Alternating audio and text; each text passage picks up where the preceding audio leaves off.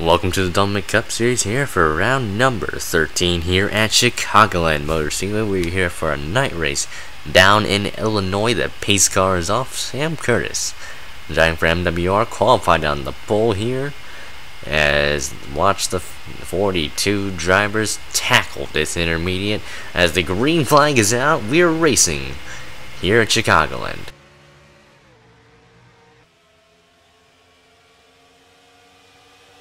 Down into turn number one, the field of 42 cars roaring to the back straightaway. You can tell which cars are going to be fast and which ones are going to be slow here in this run here.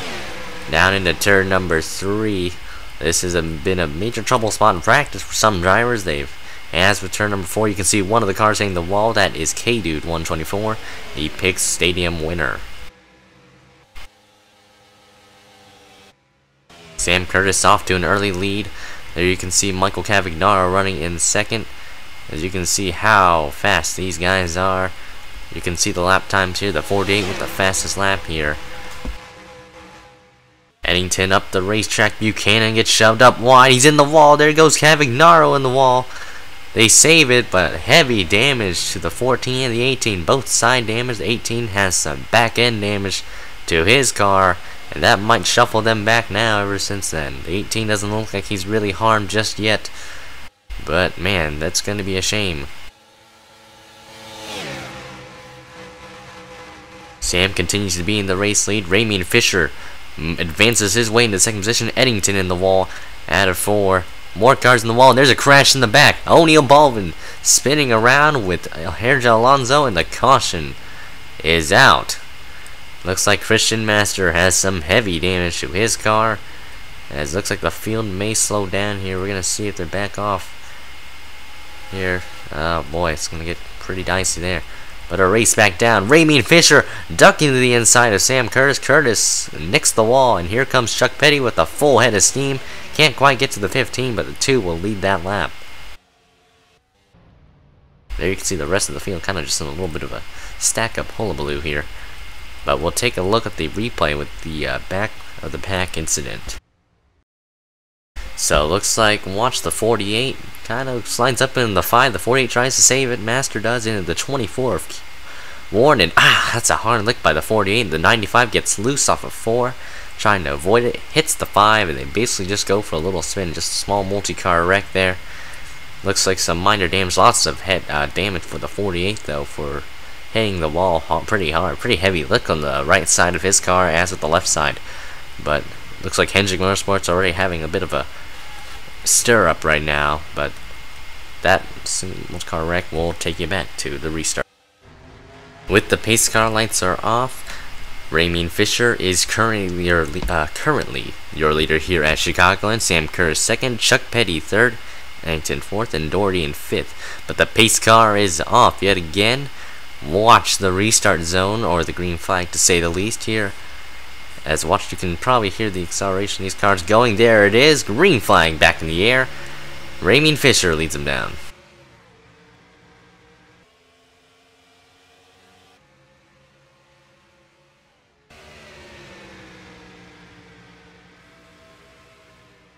You can see Sam Curtis with a massive run on the number two here. Down to turn number three, Sam looking to the inside. Can he make it work? Here comes Petty down the inside. He tries to look with him. The two's gonna kiss the wall there. You can see some several drivers still kissing that wall at four. It's a major trouble spot, like I've mentioned. But Sam will lead that lap. Chuck Petty to the inside, ducks it in there. You can see the other, the 11 to 10 also doing the same thing. But Petty looking for the race lead here on the number 15. Down into turn number three, Petty looking for his third win of the season. He slides up the racetrack. He's going to put the 15 into the wall there. Not really, but that puts the 15 in the wall, but some close racing here at Chicagoland right now has kind of stirred it up. It's brought other drivers into the mix, the 15 dropping back like a rock now. As you can see, a parade of cars on the inside line. Lily does NASCAR, looking for the race lead. She's gonna go for the win here. She hasn't won a race yet, and she's been very hungry. The 11 smacking the wall out of four. The 17 in the same boat. Ian Dutta has made his way up here as with Jesse Turner and DJ Curtis. They are using the inside line. This inside line is very handy when it comes to Chicagoland. As you can see, the rest of the field back there as well. No cars have actually left the race so far. But the 10 is in the race lead. Regan Smith looking for two wins in a row. Really momentum gained for this 43 team. RPM has had all their cars now in the chase. And there's a crash in the back. Theo Stegall and Matt Dixon have just crashed, and I don't know if the caution the caution is out. It might have had something to do with the back half of the field again. But we're racing back down toward the line. As Regan Smith on the inside of the 10. The 10 almost hits the wall. The 21 does on the other hand. As they race back to the line, Regan Smith takes the lead.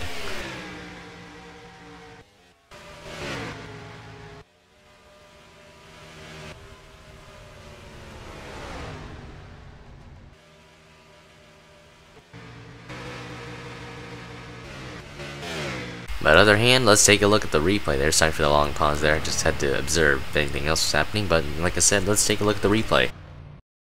So coming out of turn number four, Richard Johnson gets in into Theo Stegall. Stegall hit the wall actually out of four into Matt Dixon's path. Dixon's going to get clipped here.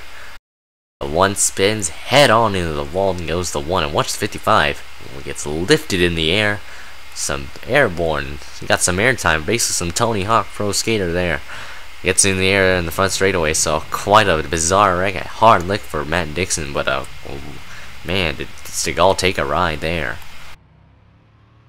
We'll take we'll take you back to the restart. So troubles with the 11 team right now. Alan Cavagnaro has reported some problems. They have fixed the damage to the car, but unfortunately he is a lap down. But with the one to go signal out right now, Regan Smith is currently your leader. Lily Does NASCAR runs in second, and Johnny Gardner runs in third. Keith Doherty fourth, and Jesse Turner runs in fifth. There you can see the rest of the top 10 up in the leaderboard up there, but that might change with them crossing the line here. As the green flag is out, Regan Smith leads them down yet again. Lily Does NASCAR tries to look. She looks this time. Here she comes to the inside. A great restart by the number 10. Gardner looks like he follows on the inside. Here he comes. Followed by the 7 and the 32. We've noticed there's a Gibbs guy up here that is Mark Cavagnaro. He is very high up in points. He's been quiet most of the season, but he's making things work for him right now, currently. One of the first few people without a win, but very doing very good right now. Gardner to the race lead, leading that lap there. He's going to get a bonus point there, but here comes Caitlin Doherty down the inside. That 7 car has also been pretty fast. He, She was very fast to Kansas, but didn't have the luck at the end. There you can see the 20 sliding up, the 9 and the 27 rubbing near each other.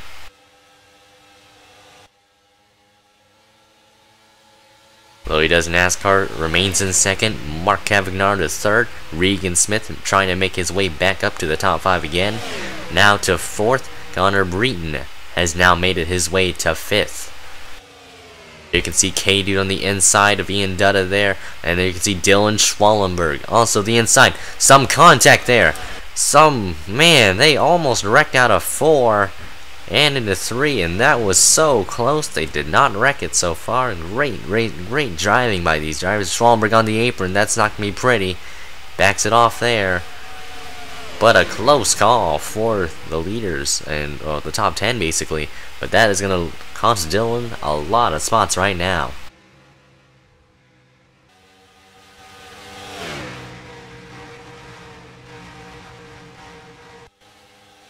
You can see a ton of cars scraping that wall. You can say turn 4 is literally a Darlington stripe for several drivers as of right now. But look at the moves people are making in this mid-pack here. This is getting crazy. There's the Daniel Williams ducking underneath the 88. There. We have had some rumors where we've had some drivers getting replaced after round this round because we are going to head outside the US and well excluding Canada and some contact the 71 in the grass and Amon into the 22, and the caution is out. Look out, everybody. That's not going to be pretty. Oh, man. Oh, wow. The caution is out. The 71 is involved. The three of Ash Curtis, his season has not been good. They have heard rumors where he's going to get replaced by, I believe, Mark Sebeka, if not uh, Rancho Cucamonga. But, man, what a... And they're still wrecking. Oh my gosh, one car barrel rolling. That is Noah Castling. Richard Johnson's involved. Chuck Petty's in it. And the 51 just slammed into the 46 and he is sliding across the line. He will cross it. But uh, bizarre turn of events here have just brought our caution after that. Man, what a turn there. But Lily Does NASCAR is your leader right now. As we'll take it to the replay of those incidents. Man, those were crazy. So coming out of turn number 4, this has been a major trouble spot for a lot of the cautions today. Kyle Keith just lines up the racetrack right into the 71. The 71 doing the best she can to save the car here. She's gonna stay in the grass. The thing, she's just trying to hold on for dear life from here on. But then right in front of the 22's path, and Bobalvin, no place to go. That sends the 71 for a spin. Everybody on the high side trying to slow down the best they can. Schwallenberg nicks the 71 there. And then looks like somebody, Ash Curse runs over Christian Master there into the 19, the 50, and the 15 as and the 51. So really, these guys back here just had no place to go whatsoever, and that's the reason Ash got so much damage. Then, so then we have to pay attention to this second wreck. I think it might have started a bit farther up around here actually. So we're gonna pay attention to this one. I think it might have had something to do with Richard. Oh, Richard Johnson just slid up the racetrack right into the 46 Daniel Williams. Oh, wow. Man, that was heavy. And you see the 41 game lifted up in the air. But a heavy lick there. And then the 51 gets slipped over there. So a lot of flips here at Chicago. And just brought out the craziness. We'll have another view in slow motion as with the same camera. So here's another angle, probably the same one, but Richard Johnson just slides up the racetrack, the car getting really tight there. Daniel Williams impaled into the wall, basically. Castling just an innocent bystander of this one. Everybody doing their can. Williams slides on the wall. Chuck Petty trying to slow down, sees the four there. Oh wow, and there's he slams into the 46 there. O'Neal Balvin piles into the 41. The 41 gets lifted off the ground. There, a spectacular wreck for the 46 and the 41 and we're gonna see as we're gonna put this back to normal cam here the 51 slams into the 46 H Scott's cars are basically destroyed in that one and the 51 basically goes for a little tumble down to the front straightaway and crosses the line. A spectacular wreck. Two separate wrecks really bringing out. What could have been oh man I mean it's really hard to explain here but man a spectacular wreck here at Chicagoland for like two flips in one. Really just sprung out. Probably highlighted this race, honestly, but we'll take you back to the restart. With once again the one go signal out, we are on lap 27 out of 54. We had a huge crash here that took out several drivers. 34 cars remain in the race, the 11 obviously being a lap down to 22, 51.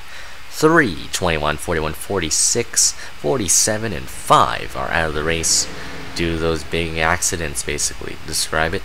Lily Does NASCAR remains as the leader on the restart. She has had a very solid performance, not so far this season, but the green flag out in the air. We're racing again. That 11 car, I don't know if he's going to be too slow or not, because we're going to see how fast this 11 car is. And, and actually looks like he can run with the leaders as of right now. So it doesn't look like the 11 might be too much of a nuisance, but probably be a nuisance for just trying to get his lap back. But K-Dude using this uh, is a pick here to the inside. He goes. Will Connor Breton shove him out? Yes, he will. Breton looks. And Cavagnaro. Mark Cavagnaro's in the wall out of four. Some hard, that was a hard lick for him, and that causes a big stack up, and the caution is out. Alonso in the wall. Christian Master plows into Mark Dixon, and they're still wrecking. The caution is out. Sam Curtis with tons of front end damage to his car.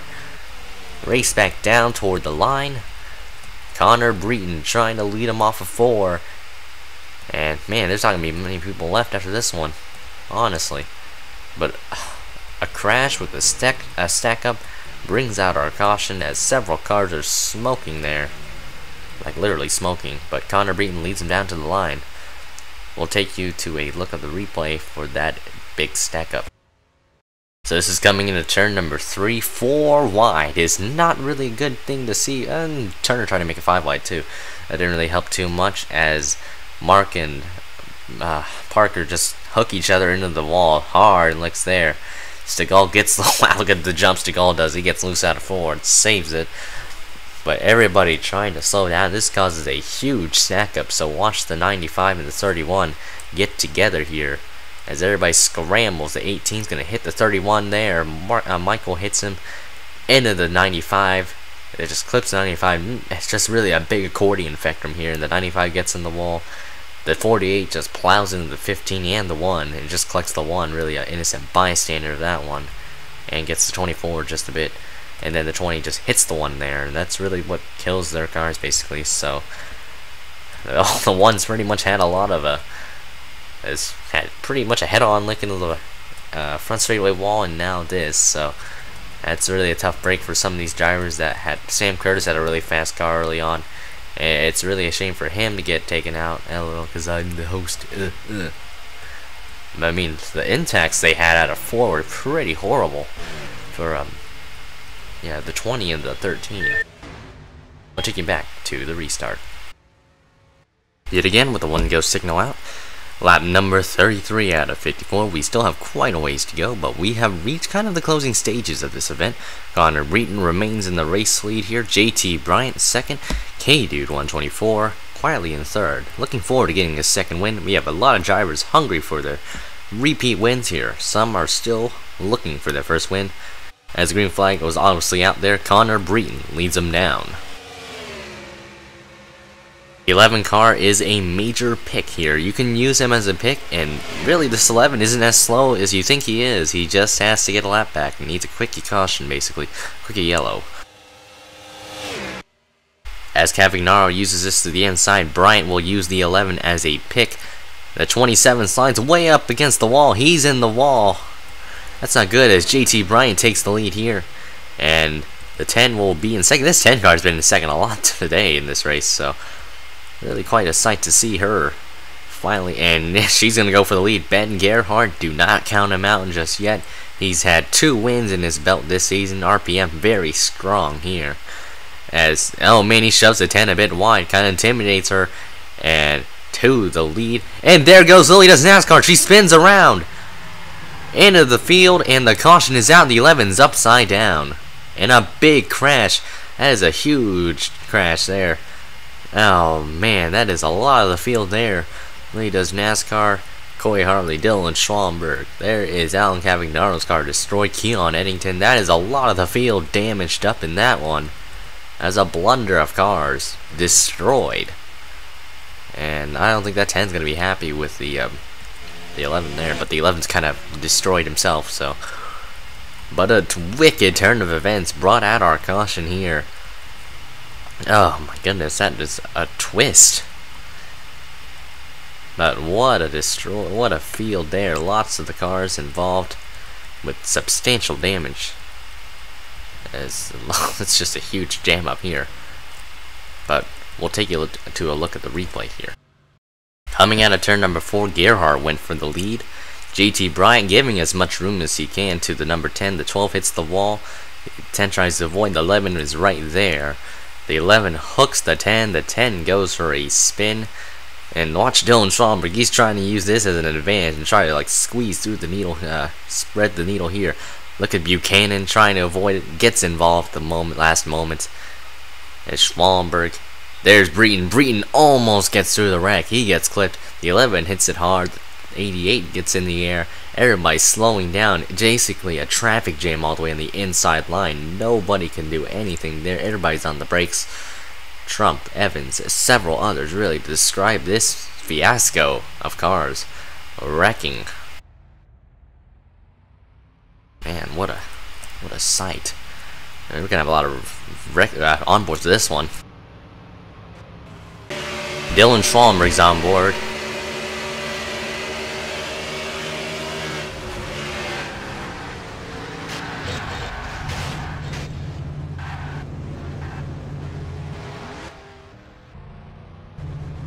can just see a carnage of cars basically right there. Hmm. Zach Buchanan's on board here.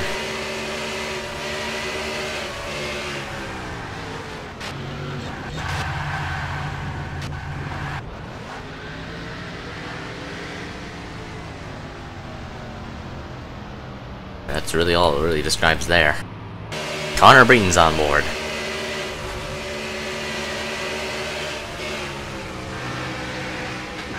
Oh, wow, he almost got through that. You can see he just gets clipped at the end.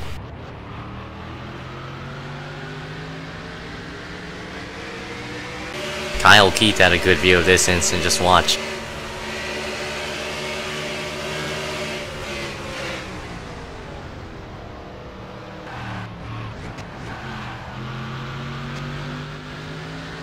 What a view there.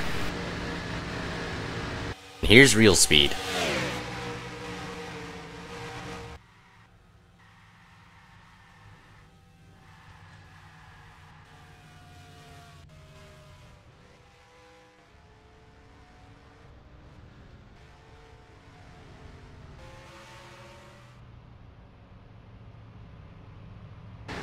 Coming to take the restart, Ben Gerhardt was in the lead after that humongous crash. That took out so many cars in that one. I think about it's not really half the half the field's basically left. Green flying back in the air. JT Bryant got a very good start there in the 44. We're gonna see if he can do anything. Schwallenberg kind of holds the field up. As you can see, he's got some damage to his car. As DJ goes to the inside, Bryant looking forward for the race lead here. Man, that humongous crash took a lot of good cars out of this one, out of contention basically. As to the inside goes the number 12 SKF Ford for Penske Racing JT Bryant as the 44 hits the wall out of 4. DJ Curtis now up to third. You're going to see the lap here 31 4, 31 7, and a 31 2. A blazing lap by the number 16, and Gardner with a 31.4. So Johnny Gardner looking forward to getting a good run here. There are rumors where he's not going to be able to race the second half of this season here. Um, or at, once we get to race after this race is done. Because he is moving in with the um, some personal matters. So we wish the number 16. Well, actually, it's confirmed, actually. So my apologies there. I misread there. Pulled a uh, Harvey there. But um, we wish the number 16 some luck here as they decide Roush Fenway has decided to close the doors for that once the season is progressing. We might keep that, you never know, anything can happen. You can see the rest of the field remaining here. really, the last car is Zach Buchanan here, and he's in like 20th, so 20 cars are basically in this race. As Gerhardt back to the race lead, JT Bryant now the second, really, this is a Ford train here, a four-car Ford train here with the Chevys kind of following on tow. So an army of Fords and Chevys, all the Toyotas have basically been kind of wiped out due to the wreck. DJ Curtis looking at a four, he's gonna go for the race lead here. Put the 16 up front, he's to the race lead. Here comes his teammate of Johnny to second.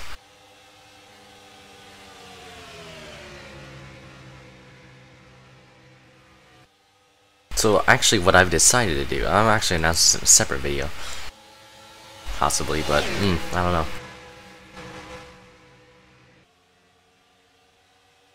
And Gardner to the race lead here.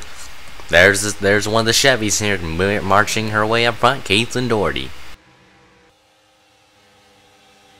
JT Bryant looking under the 16 for second position. Bryant is going to try and clear him, but might get the run off here. We're gonna see. Gardner holds on to the race lead. He's looking forward to getting his first win. Today, Bryant to second. Now Curtis hitting the wall. Now that brings the advantage for some other drivers to catch up here. Gardner very strong here. This car, they've done a very good job of this team. Hasn't had the best of luck so far. Results haven't shown, but this six car is finally up front. Doherty looking under Bryant for second position, this 7 car.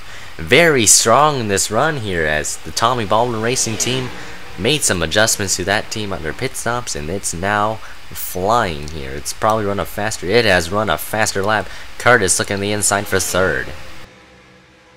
Ben Gerhardt trying to catch them both. The Fords there. Penske and Roush, really, versus RPM. Zach Buchanan lap car. Oh, wow, that was close. They almost ran into the back of him. But the 16 still looking under the 12, and he will clear Bryant. Bryant smacks the wall just a bit. Turner just smacked it out of four. And you can see the Hendrick guys, two of the Hendrick guys have actually quietly made their way back up due to the uh, attrition rate right now. So, really good thing for them to happen. But right now, that 7 car is, is gonna soon pounce as Johnny Gardner is holding on for dear life. As like I said, if he wins, we might ha not have that 6 car. Roush might not consider closing the 6 car's doors down. So, anything can happen within this rate. But lap cars are going to play a role. There's the 17 of Kelly O'Donoghue. She has had damage to her car. Or him. I don't I like I said, I really don't know. The 7 on the inside. The 6 slides up a bit. This gives the 7 some momentum here. Out of 4. Oh, the 6 gets held up a bit. They get held up big time here. This is going to bring a chance for DJ Curtis, Ben Gerhardt, and JT Bryant. Curtis using the outside line here. That's not going to be a wise move there. As the 44 and the 12 are going to zoom on by. Curtis gets held up by his own teammate there. But he will immediately go back to the inside line knowing that is the right place to go. Doherty on him. And there's a crash. The caution is out. Race back down to the line. Caitlin Doherty gets the spot she will take the lead. That might have just decided the factor here as there was a crash there. I think it had to do with Connor Breton and Lily does NASCAR. But the 7 car in the race lead here. Oh man, things are getting closer and closer. Late race caution might have just ended this race here. We'll take a look at the replay here of that late race caution and even the pass for this lead. So this is coming out of turn number 4, Zach Buchanan, a slow car. Slides up the racetrack basically into the 18's path. And they just collide and Michael Cavagnaro just nothing he can do and him and Zach Buchanan basically just take each other out and oh right into Dylan Schwallenberg. That was a very unexpected move there and everybody just basically slowing down from here. But here's the pass for the lead here. The 7 using the inside line has a huge run on this Gardner. Gardner just nicks the wall, but that's just enough for the 7 to fly on by. A move by Caitlin Doherty might have just helped her get in this chase here. As we'll take a look at the possible finish here. Anything can happen. Like Road America, we had cars run out of gas here, so anything happens here. We'll, like I said, we'll take you to the final laps. We are on the last lap here, Chicagoland, at a turn number 3 and into 4 here, as we are about to exit turn number 4 to be exact here. The race will end under caution here. But, coming to the line, Caitlin Doherty will get her first victory here, and it will be here in Chicagoland. She has now put herself in the chase, and Johnny Gardner ends up just short, right there at the end. Man, what a turn of events here. Crazy race here, Chicago, Chicagoland. Lots of wrecks here, some crazy incidents here. 18 cars remained in the race here.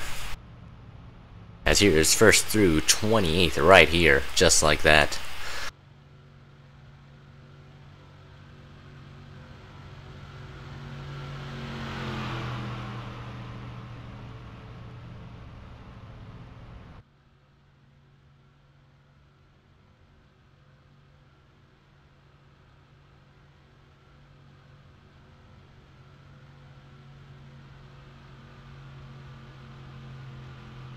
man, you could just see a lot of drivers out of this one due to wrecks especially. But congratulations to Caitlin Doherty on her first victory here at Chicagoland. We'll take you to the standings just shortly.